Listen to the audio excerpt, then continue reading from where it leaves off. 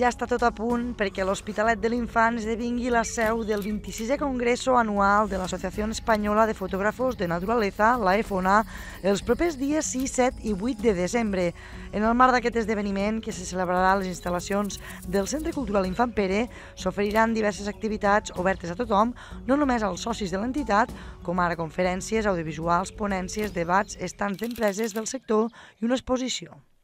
Entre la dotzena de ponents que hi participaran hi haurà fotògrafs de natura de renom en l'àmbit nacional i internacional que donaran a conèixer els seus treballs més recents. En el programa d'actes destaquen, per exemple, les conferències de José Benito Ruiz, Mario Suárez, Pere Soler, Oriol Alemany, Jaime Culebras i Iñaki Relanzón. En el transcurs del Congrés, així mateix, es presentaran tres llibres. Diario de un fotógrafo de la naturaleza, de José Luis Gómez de Francisco, Érase un ratón, cuentos de un fotógrafo de naturaleza, de Ramiro Díaz, Imaginando mundos, de Uge Fuertes. A més, es presentarà oficialment la Societat Catalana de Fotògrafs de Natura a la província de Tarragona, es donarà a conèixer la comunitat internacional de joves fotògrafs de natura creada recentment i s'organitzaran dues sortides fotogràfiques per Vandellós i l'Hospitalet de l'Infant, un municipi que disposa de més de 100.000 hectàrees de paratges protegits com espais d'interès natural, la qual cosa representa el 70% de la seva extensió, segons destaca l'organització.